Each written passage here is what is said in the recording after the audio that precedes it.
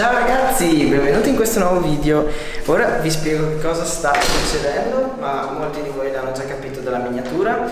Scusate come primissima cosa per l'eco che sentite, ma sono tutte stanze vuote. E prima di spiegarvi che cosa sta succedendo, due cose fondamentali come sempre, iscrivetevi al canale e lasciate un bel like sotto questo video.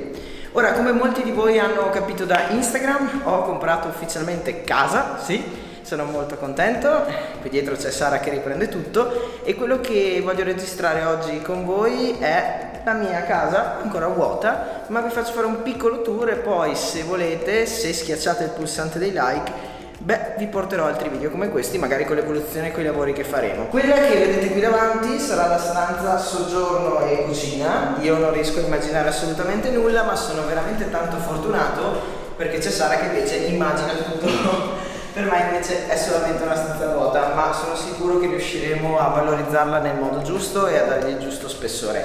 Quindi qui ci sarà il salotto, non ho ancora capito come, mentre di qua ci sarà la cucina e dopo settimane e settimane a capire dove mettere il frigo ce l'abbiamo fatta, ma a parte le battute. Venite con me. Qui abbiamo una bellissima porta scorrevole, ultimo grido sul mio piede e questa sarà la camera da letto che mi piace un sacco con le finestre che danno sul giardino che poi magari dopo vedremo, chi lo sa.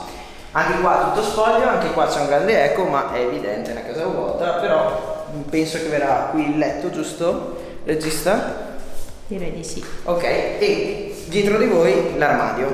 Qui invece abbiamo il bagno, ragazzuoli, dove forse ancora da decidere rimuoveremo la vasca per mettere la doccia perché io odio la vasca da bagno. Eh, faccio parte del team che preferisce ampiamente la doccia. Quindi molto probabilmente sta roba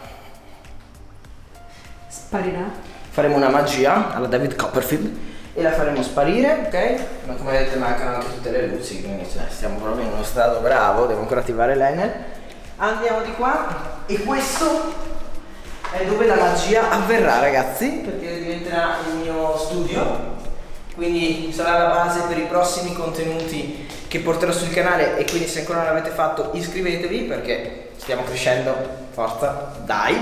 E qui c'è anche molto meno eco come vedete è un po' buia ma perché di fatto stiamo sfruttando la luce naturale ed è anche una giornata un po' nuvolosa. Andiamo avanti. Qui abbiamo un, uno scoperto ancora da identificare. E qui abbiamo la lavanderia che sembra abbastanza inutile in realtà è molto ovvio raga che adesso dovete fare il lavoro che faccio io ovvero immaginarvela piena di cose altrimenti è ovvio che saranno solo stanze vuote. Mentre andando di qua abbiamo tutto lo scoperto ovvero ragazzi la casa di Daisy perché forse voi non lo sapete ma Daisy ha la casa molto più grande della mia. Vanta 225 metri quadrati di scoperto. Eccola qui una cosa che mi piace tantissimo di questa casa che avete visto è che tutte le stanze collegano sul giardino secondo me ha un valore aggiunto incredibile.